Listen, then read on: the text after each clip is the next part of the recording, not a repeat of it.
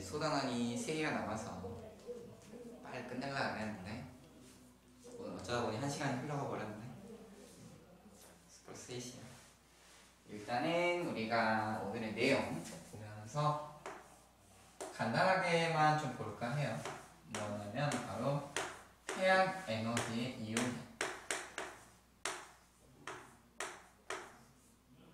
태양 에너지의 이용이라는 겁니다. 자, 이러한 내용을 가지고 우리가 살펴볼 거예요. 알겠죠? 어, 태양. 태양이라고 하는 거는 우리가 이제 익히 좀 많이 배워본 바잖아.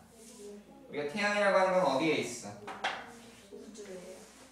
우주. 지구 옆에 달라붙어 있고 우리 태양계에 속해 있죠. 네, 그렇게 구성되어 있는데 바로 이 태양. 이 태양이 뭘 가지고 있다? 이 태양이 뭘 가지고 있다? 핵. 에너지를 가지고 있다. 근데 이 에너지가 어떤 에너지라고 그랬어? 태양이 가지고 있는 에너지. 이 에너지 뭐라고 했어요? 핵 융합 에너지라고 했습니다.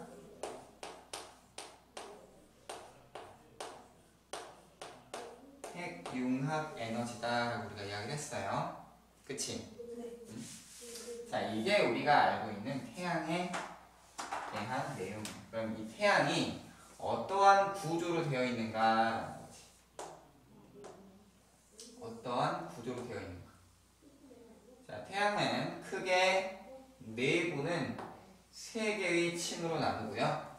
그리고 이제 태양의 겉 표면, 표면인 광구라는 곳이 있고, 광구라는 곳이 있고, 그리고 거기에 이제 뭐가 있어? 태양에 어떤 층? 대기층이 있다라는 거. 알겠습니까? 이렇게 되고 이제 내부는 어떻게 구성이 되어 있는가 살펴보니까 이 내부에 일단 뭐가 있고 핵이 존재하고 핵 위에는 뭐가 있냐면 복사층이 있어요. 복사층. 복사층이라고 하는 건 핵에서 만들어진 에너지가 밖으로 이제 복사되어 나아가는 곳. 그리고 끝에는 이제 뭐냐면 대류층. 여기서 이제 에너지가 대류가 되면서 물질의 대류가 일어나고 그를 통해 광부에서 뭐 쌀알무늬라던가 흑점이라던가 이런 게 만들어지는 거지. 자, 여기서 우리가 주목할 부분은 뭐냐? 태양의 표면 온도는 얼마쯤 되냐면 약 6000K 정도 돼요. 광부 표면 온도는 약 6000K. 그래서 태양은 표면도 6000도 정도가 되기 때문에 약간 노란색을 띠고 있는 별입니다. 노란색. G 등급에 속하는 그러한 별이라고 보시면 되겠어요. 근데 이 내부의 온도는 얼마쯤 되느냐? 얼마쯤 될 것 같아? 약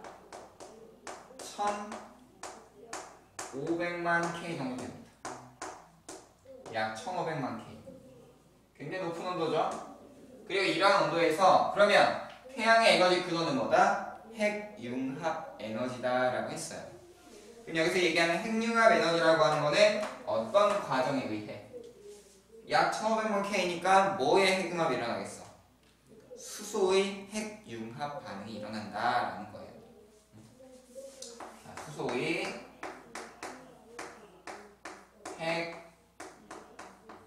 핵융합 반응이 일어나더라라는. 그럼 수소의 핵융합 반응이 뭘 얘기하는 거야? 어떤 과정을 수소의 핵융합이라고 합니까? 어떻게 일어나는 거야? 네 개의 수소 원자가 뭐가 되면서 헬륨 원자 핵으로 헬륨으로 바뀌면서 여기서 뭐가 발생한다? 에너지가 발생을 하더라. 에너지가 발생을 하죠. 그치? 이러한 과정이 수소의 핵융합 반응이었습니다. 근데 여기에서 어떤 일이 일어났냐?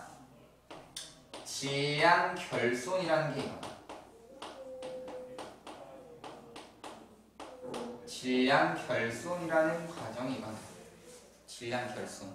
질량 결손이 뭐냐면 반응이 일어나면서 질량이 줄어드는 거예요. 자, 어떠한 이 질량 결손이라고 하는 게 자, 네 개의 수소 네 개의 질량과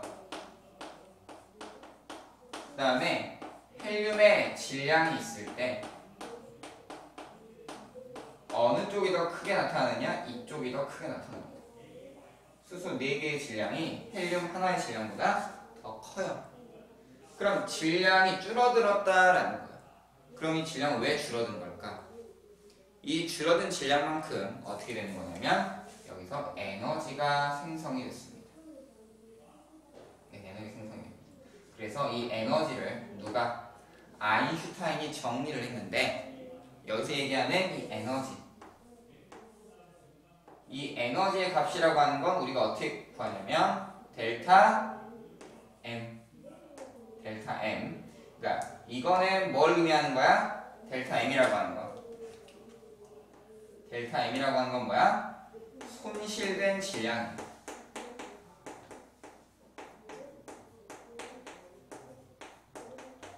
거기에 뭐만큼? C의 제곱만큼 여기서 C라고 하는 거는 뭘 의미해? 여기서 C라고 하는 건 뭘 의미해요?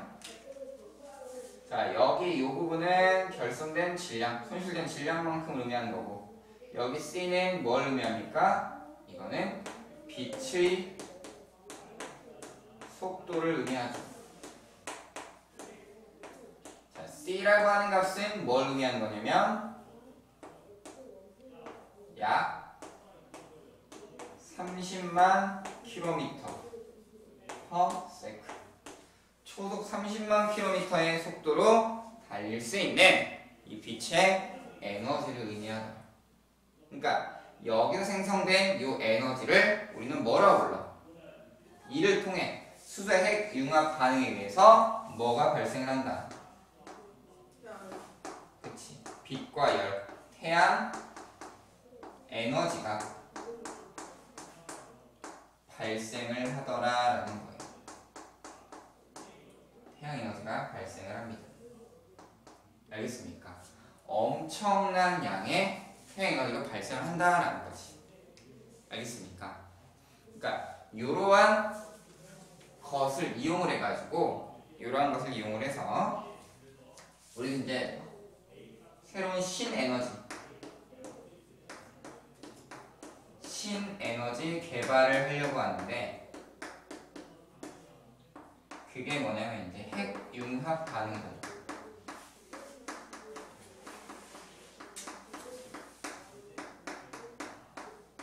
뭘 통해서 인공 태양을 만들어서 인공 태양을 만들어서 신에너지를 개발하려고 하는 노력을 기울이고 있어요. 알겠습니까? 근데 온도가 엄청나게 높아야 되잖아. 그래서 이 자기장을 이용을 해가지고 자기장을 이용해서 토카막이라고 하는 구조를 만들어요. 우리 자기장 배웠었죠? 어디서 나왔어요? 음, 전기 에너지 할 때 나왔었잖아. 전기와 자기 할 때. 그때 이 자기장으로 둘러싼 막을 하나 형성을 해가지고 토카막이라는 걸 만들어서 그걸로 핵융합 반응을 일으키려고 한다라는 겁니다. 이런 반응이 일어날 수 있도록 연구를 하고 있어요. 신에너지 개발 연구 하고 있더라라는 거예요. 알겠습니까? 음? 왜 이렇게 또 기운이 없어요? 걱정되니? 음? 자, 알겠습니까? 그래서 요거 이렇게 전환되는 거를 우리는 뭐라고 하냐면 질량 에너지 동등성이라 그래. 이걸 누가 발견했어? 그렇지 아인슈타인이 이걸 연구했더라. 그래가지고 요 E는 MC square 이거 이름 따서 옛날에 그 공부할 때 우리가 이제 백색 소음 이런 거 얘기하잖아. 뭐 이렇게 방지시켜 이어폰 꽂고 공부를 하면 공부가 잘 된다고 이제 그런 기계가 있었어. 얘가 이름은 MC 스퀘어였거든. 이는 MC 스퀘어. 스퀘어라고 제곱을 의미하잖아요.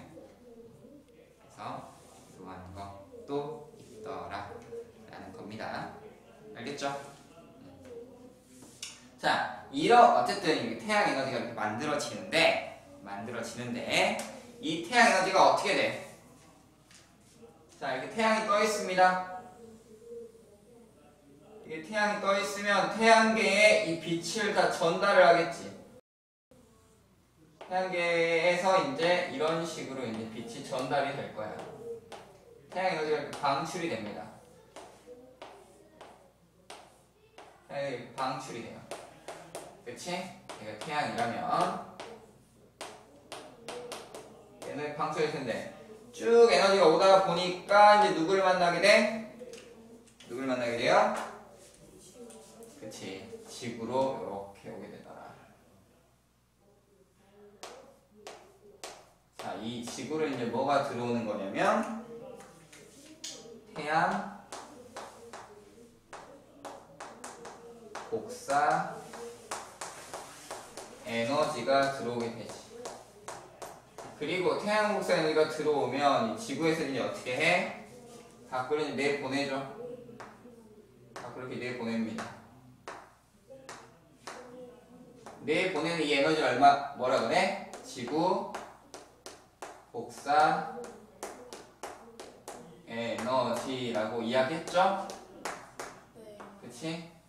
지구 복사 에너지라고 하더라. 그래서 태양 복사 에너지 들어온 양과 나간 양이 똑같기 때문에 뭐가 일어나고 있다? 에너지 평형이 일어나게 되더라 라는 거예요. 피곤해요? 많이 힘들어 보이네요. 어제 얼마나 재밌게 논 겁니까? 그러게 구시청 그만 가라니까. 응. 농담이에요. 근데 이 태양권 태양국 에너지 있잖아요. 응? 그 중에 이제 지구로 오는 에너지. 이 지구로 오는 태양국 에너지는 어느 정도가 되느냐? 전체 에너지의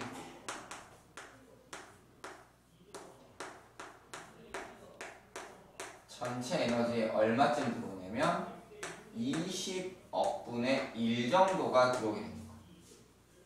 전체 태양에서 만들어지는 방출된 에너지 중에서 그 중에 20억 분의 1 정도만 이 지구에 들어왔다가 나가게 돼요. 굉장히 많은 양이야 적은 양이에요? 굉장히 적은 양이죠. 근데 이러한 태양 복사 에너지에 의하여 지구는 뭐가 일어나냐면 뭐가 일어나느냐? 이 태양 복사 에너지 정말 조금밖에 안 되는 이 에너지를 통해서 지구의 에너지 순환이라는 게 일어나요. 지구의 에너지 순환이라고 하는 이러한 일이 나타나게 돼요. 그럼 이 태양 복사 에너지가 지구에 어떠한 영향을 끼치게 되느냐라는 거지. 어떤 영향을 끼치게 되느냐. 여기에 대해서 한번 살펴보도록 할게요. 자, 먼저 뭐가 있어? 태양이 있습니다. 그쵸? 자, 여기 태양이 있을 때 태양 에너지를 크게 둘로 나눈다면 뭐와 뭘로 나눠볼 수 있어요? 태양 에너지를 크게 나눠본다면 뭐와 뭐? 일단 뭐가 있고 빛 에너지가 있죠. 빛 에너지. 빛 에너지가 있고 또 뭐 있습니까? 빛과 태양빛이 받으면 어때? 따뜻하잖아. 그쵸? 뭐가 옵니까? 그치. 열 에너지가 오게 되지.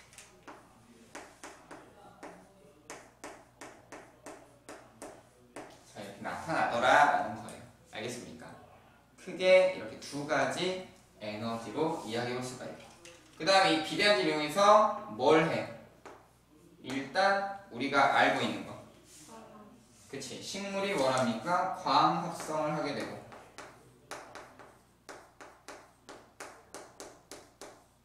그리고 비대야지 이용해서 또 어떤 거 합니까? 이걸 이용해서 뭘 하느냐? 뭘 하느냐? 음, 요거는 좀 이제 다른 의미로 태양광 태양광 발전이라는 걸 하게 됩니다. 태양광 직광판이라는 거예요. 태양광 발전을 해요. 태양광 발전. 태양광 발전. 아, 이 태양 발전이 나오기 전에 아, 먼저 나와야 되겠다. 뭐냐면 연료 거야. 연료 전지. 연료 전지라는 게 먼저 나와요. 이 연료 전지에 비대너지를 저장을. 연료 전지에다가 이 비대너지를 저장을 해요. 그리고 나서 이 연료 전지에서 이제 뭐가 나오냐면 비대너지. 그러면 빛 에너지를 받아다가 뭘 하는 거냐면 태양광 발전을 하게 됩니다. 태양광 발전을 하게 되더라라는 거. 알겠습니까? 태양광 발전을 하는 거죠. 알겠습니까? 이렇게 되고 자, 그 다음에 이 광합성을 했어, 식물이. 그러면 이게 이제 어디로 가? 땅 속에 묻히겠지. 땅 속에 묻히겠죠. 땅 속에 묻혀서 이제 뭘 해? 뭐가 됩니까? 화석 연료가 되는 거야. 그럼 화석 연료 속에는 어떤 에너지가 있어요? 여기 어떤 에너지가 있어? 그치. 땅에 묻히면 유기물이 저장이 되잖아. 그게 이제 화석 연료가 되는 거지. 혹은 생명체 속에 들어가서 이제 석탄이나 석유나 천연가스 같은 이런 화석 연료들이 생성되잖아요. 그럼 이제 연료 속에는 어떤 에너지가 들어있어? 여기에는 화학 에너지가 들어있지.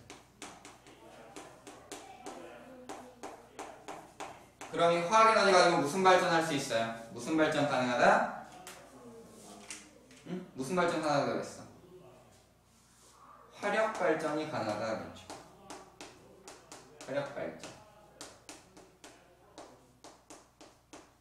그쵸? 그 다음에, 자, 이 열 에너지를 이용해서 그러면 뭘 할 수 있느냐? 열 에너지에서.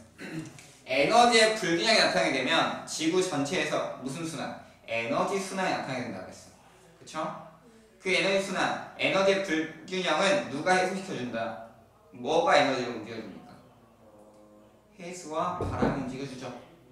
해수와 바람. 그 중에 바람이야, 바람. 자, 이 바람을 이용하면 바람을 통해 그럼 어떤 발전할 수 있어요? 어, 바, 그 풍력. 그렇지, 풍력 발전. 그럼 바람의 어떤 에너지를 이용해서 운동 에너지를 이용을 해서 아, 바람이 움직이니까 입자가 움직이는 거잖아. 운동을 통해서 뭐 할 수 있다? 풍력 발전을 할 수 있다.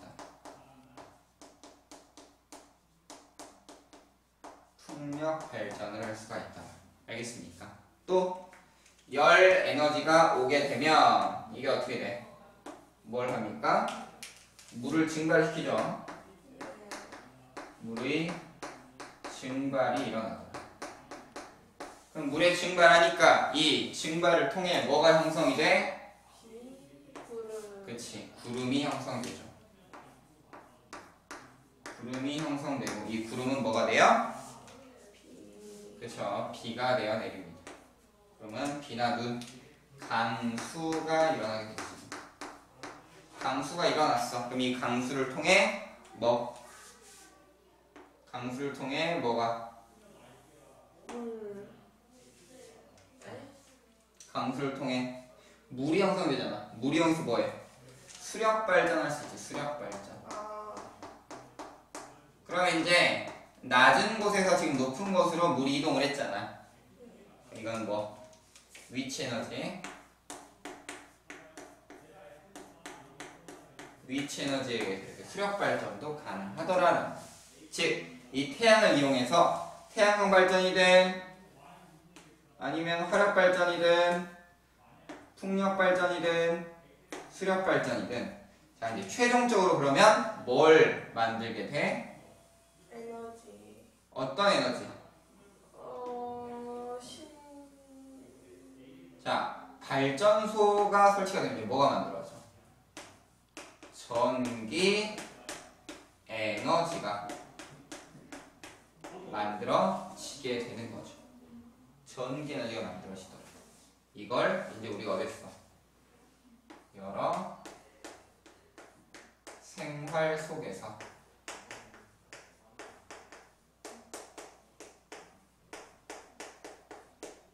사용을 하게 되는 거죠. 알겠습니까? 그러니까 이 태양 에너지를 우리가 뭘로 이러한 여러 생활 속에 전기 에너지를 전환을 시켜서 이용을 하고 있더라라는 겁니다. 알겠습니까?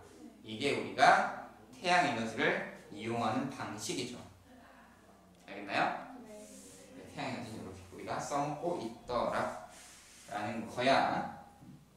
발전. 근데 이제 그냥 단순히 이렇게 발전해서 전기 생산하는 것뿐만 아니라 태양을 통해서 이제 우리는 기본적으로 뭐가 일어나? 이건 이제 에너지에 대한 부분이고 일반적으로 이러한 현상들 뭐 있어요? 태양이 이렇게 들어오게 되면. 일반적으로 기상 현상이 일어나죠. 기상 현상이 일어나고 그 다음에 식물의 광합성을 통해서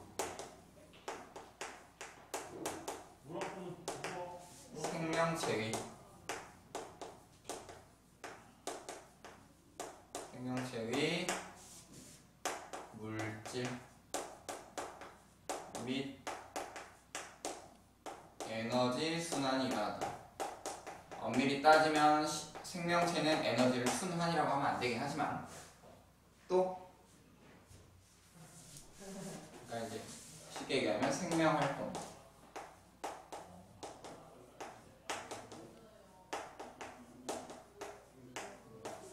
기상현상은 이제 바람이나 강수나 뭐 하는 형태. 또 어떤 거 있어요? 음, 뭐 화석 연료 생산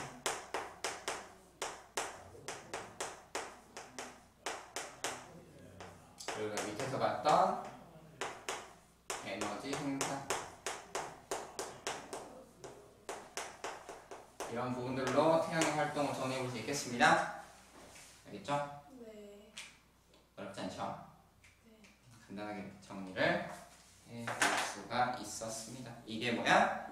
태양 에너지의 이용이에요.